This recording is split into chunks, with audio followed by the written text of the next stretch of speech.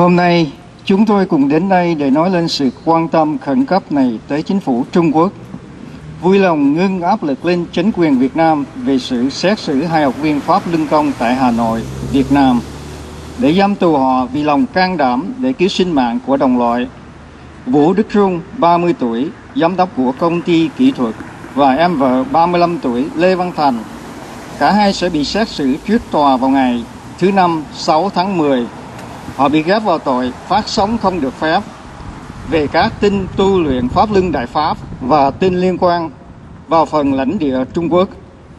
Phát sóng ngắn vào lãnh địa Trung Quốc làm tăng lên sự phẫn nộ của giới chức đảng Cộng sản bởi vì lòng dân Trung Quốc có thể nghe được các tin sống thật từ các đài truyền thông quốc tế, đặc biệt trên chủ đề có tính cách vi phạm nhân quyền, tham nhũng và có lời kêu than từ hàng triệu người Trung Quốc phải chịu thống khổ vì không có công lý. Hai người công nhân Việt vô tội đã thực thi sự việc và nói lên được tình trạng nhân quyền của người dân Trung Quốc. Nhất là hàng triệu học viên Pháp Lưng, hàng triệu học viên Pháp Lưng Công đã bị can nhiễu, một số lớn bị bắt, tra tấn, hàng ngàn người bị chết trong lao tù từ năm 1999. Những gì ông Trung và ông Thành đã làm không phải cho chính họ Họ dấn thân cho cả tất cả vì muốn cứu mạng sống của những người khác.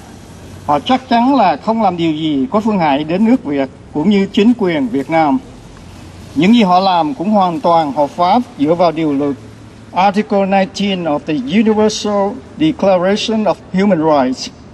Đối với Trung Quốc, cũng là hiệp ước quốc tế điều nói rằng mọi người đều có quyền tự do tư tưởng và phát biểu bao gồm quyền tự do duy trì quan điểm không có tính can dự và truy tìm, nhận và chuyển đạt thông tin và ý kiến qua phương tiện truyền thông không có giới hạn lãnh thổ về biên giới.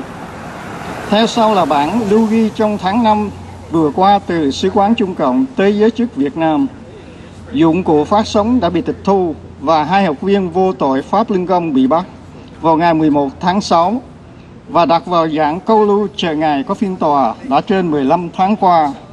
Nếu ông Trung và ông Thành bị xử có tội, họ sẽ đối diện với án tù 3 năm.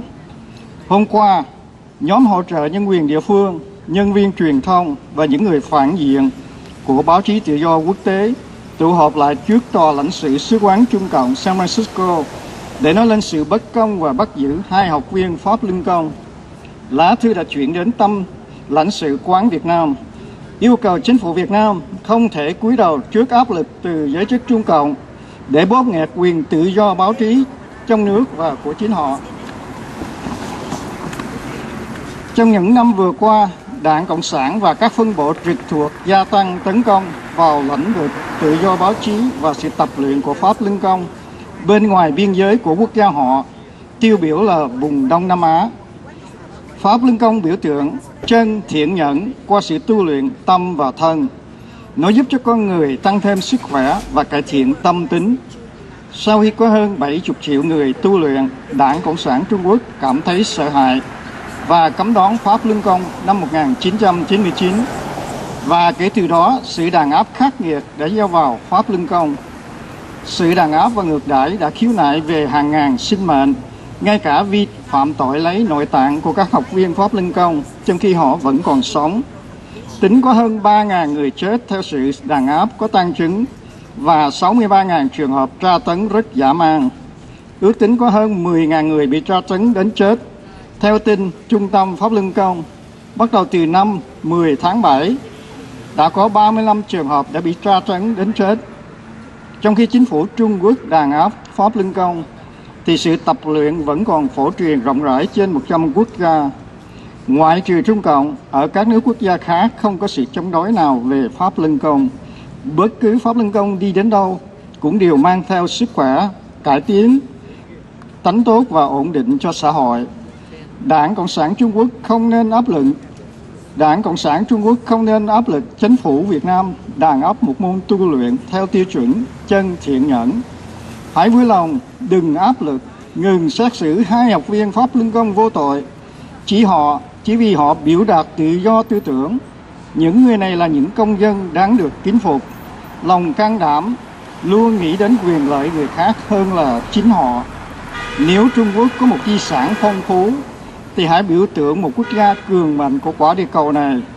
Đây là lúc cần thể hiện cho thế giới biết là một xương cường đặc tính có đặc tính quan tâm đến người của chính quốc gia mình và cũng tôn trọng những gì sở hữu của các quốc gia khác có. Trân trọng.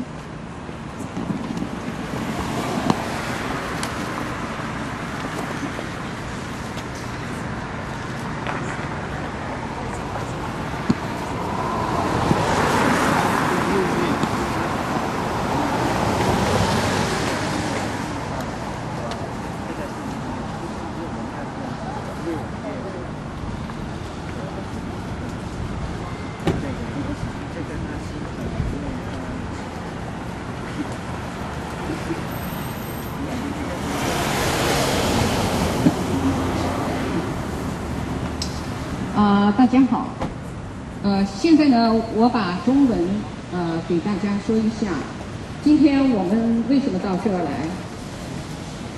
啊，现在在越南发生了一件，越南的政府由于受中共政府的削皮施压，而非法的抓捕了。两名越南的反攻学员，那是在去年的，也就是二零一零年的十一月，六月的时候，他们是被非法的抓捕，抓捕以后，他们面临着越南政府的非法的审判，预计。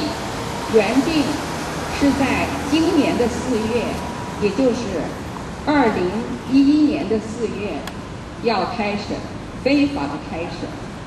可是这个期间，由于国际人权组织、各界正义声音的强烈的发出声音抗议，所以呢，在四月的审判。他们被迫的延后，可是邪恶并没有停止，被迫害，也就是说，对这两个越南反攻学员的迫害，他们还是决定在后天，也就是星期四，十月六号。对这两个越南的反攻学员进行非法的审判。那么这两个越南的反攻学员很可能面临着被判非法的判刑。